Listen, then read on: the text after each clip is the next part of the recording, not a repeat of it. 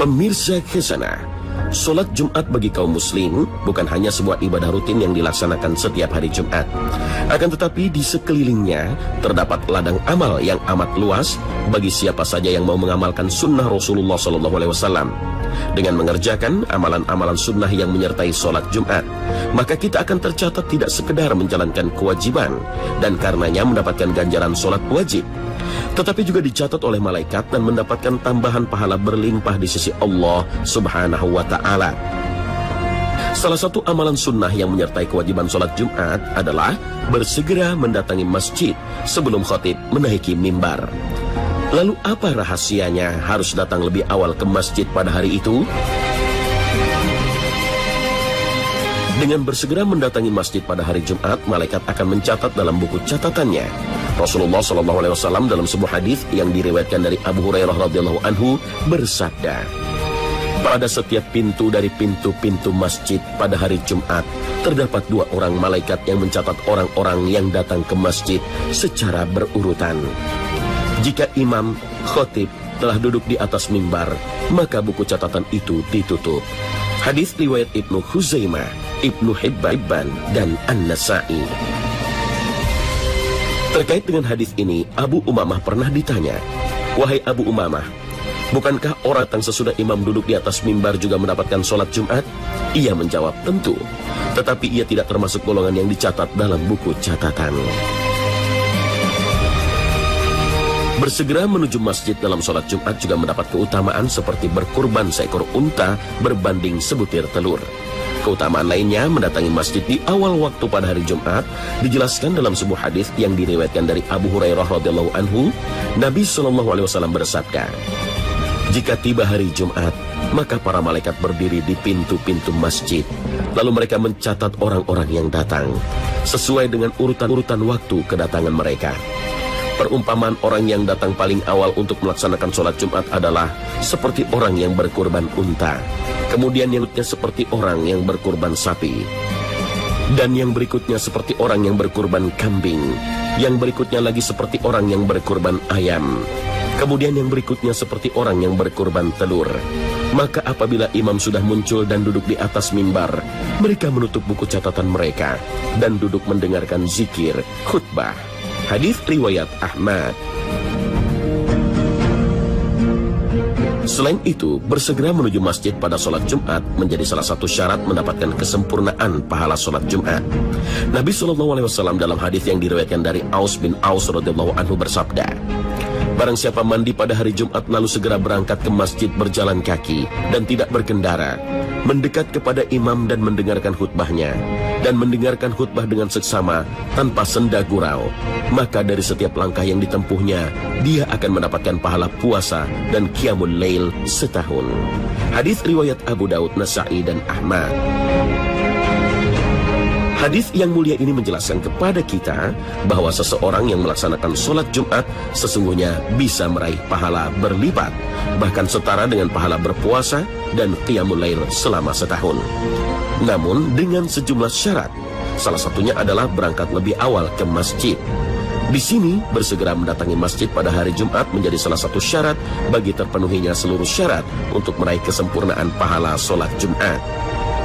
Betapa tingginya keutamaan yang didapat dengan segera mendatangi masjid pada hari Jumat.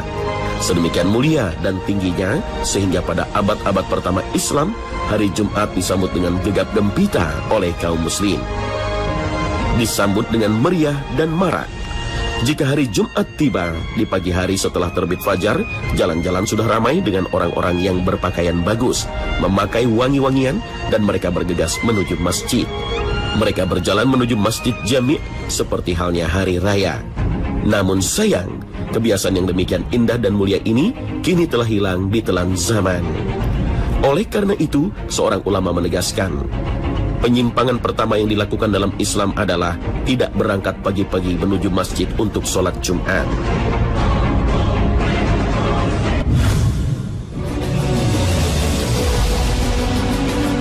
Pemirsa ke sana, Akhir-akhir ini muncul kebiasaan bahwa setiap kali hari Kamis malam atau malam Jumat banyak tersebar kicauan atau status di sosial media yang isinya berkisar pada perkataan sunnah Rasul. Begitu juga dalam pergaulan sehari-hari. Istilah ini sering terdengar dan kerap menjadi bahan tertawaan dan candaan. Istilah sunnah Rasul yang populer di malam Jumat yang dimaksud adalah penghalusan istilah dari hubungan suami istri. Apakah memang demikian bahwa malam Jumat memiliki keutamaan untuk melakukan aktivitas hubungan suami istri? Nah pemirsa, jangan ke mana-mana. Khazanah akan segera kembali sesaat lagi.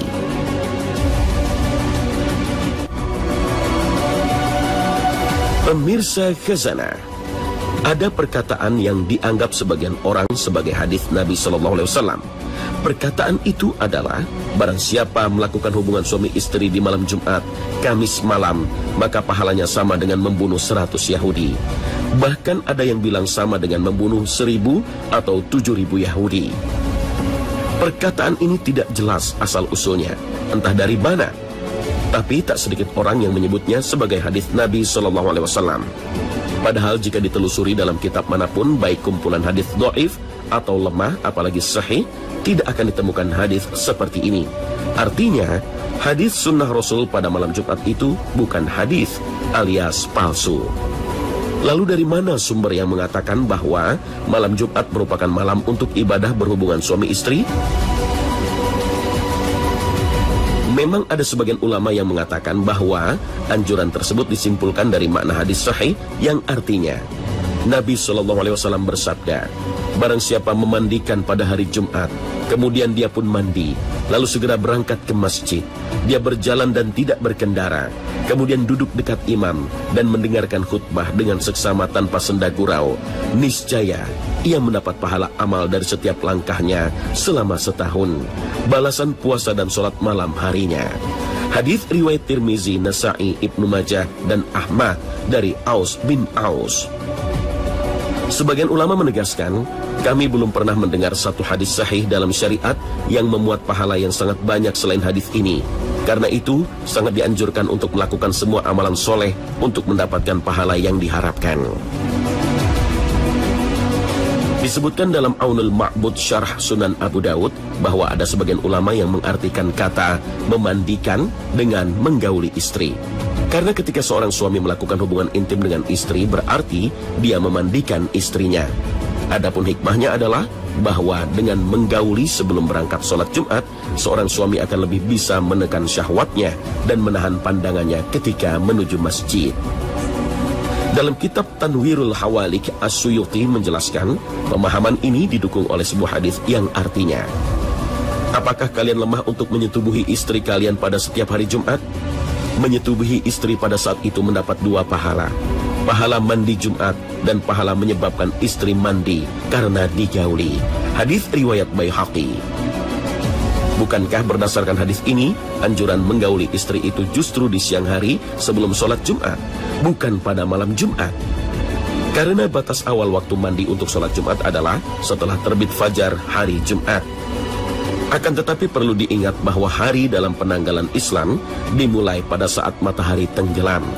Jadi malam Jumat itu sudah masuk dalam kategori hari Jumat. Selain itu, sah-sah saja jika mandi Jumat digabungkan dengan mandi junub dan dilakukan setelah terbit fajar. Imam Nawawi rahimahullah menjelaskan, jika seseorang meniatkan mandi junub dan mandi Jumat sekaligus, maka dua maksud tersebut sudah tercapai. Nah, pemirsa, sampai di sini akhir perjumpaan kita hari ini. Semoga Allah memberikan kekuatan kepada kita untuk selalu mengikuti sunnah Rasulnya. Amin ya alamin. Terima kasih atas perhatian Anda. Wassalamualaikum warahmatullahi wabarakatuh.